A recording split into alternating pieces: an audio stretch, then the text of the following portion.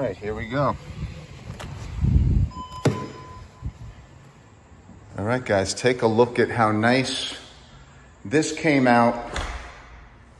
This entire home transformation. We just had the floors finished. This again is the final walkthrough.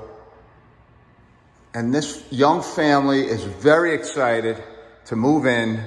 Let's take a look around, room by room, floor by floor.